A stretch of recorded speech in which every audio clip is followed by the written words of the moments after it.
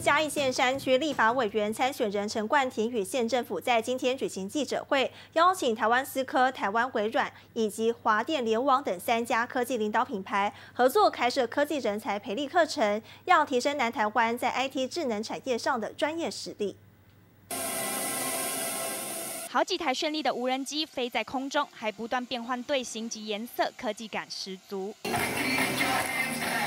学生还能操控无人机，结合舞者带来最酷炫的人机共舞表演。这是十七号嘉义县山区立委参选人陈冠廷及县府举办记者会，更邀请了三间科技领导大厂——台湾思科、台湾微软、华电联网，针对南台湾进行智慧科技人才的培育合作。其实不管是在哪一个县市，最重要就是人才培育，因为不管是资本的投入，还是任何的设备的投入，或者是整个园区的投入，到最后都需要有人力进驻。第一步就是把所有重要的这些产业能够进来我们嘉义县。科技大厂们也会全力支持县府，让嘉义的科技发展更为完善。希望说借着今天这个多方的合作呢，把这个台湾的无人机产业呢带到另外一个境界。那也期望呢，台湾可以在无人机产业这个呢，在世界呢。成为第一名。嘉义县长翁章良也代表县府与华电签署合作备忘录，和在地农民洽谈媒合，扩大嘉义在数位科技、智慧农业多方面的潜力发展。记者蔡创吴嘉义报道。